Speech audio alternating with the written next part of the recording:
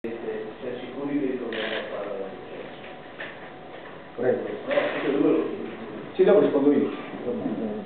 No, noi vogliamo cercare di tenere il migliore di quelle che è l'ossatura della squadra, ma stiamo facendo un'altra cosa, che è quella di, in certi ruoli, eh, magari farla diventare anche più forte. Esiste un problema, i giocatori retrocessi,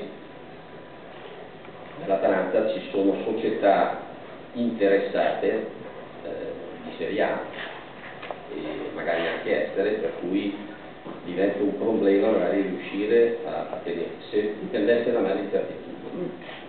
Quindi questo è fuori discussione.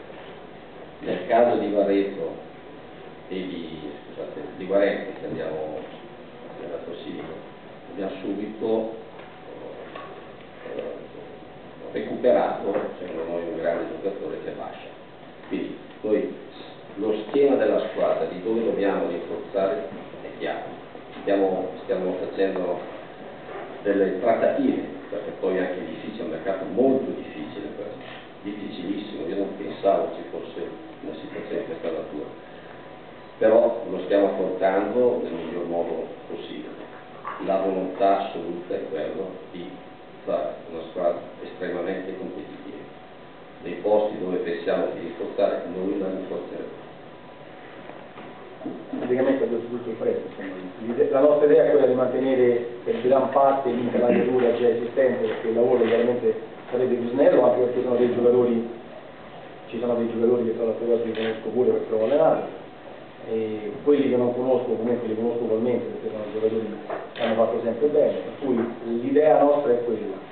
Dovesse esserci qualche, come diceva il Presidente, qualche defezione, per carità, per, per ovvi motivi, insomma.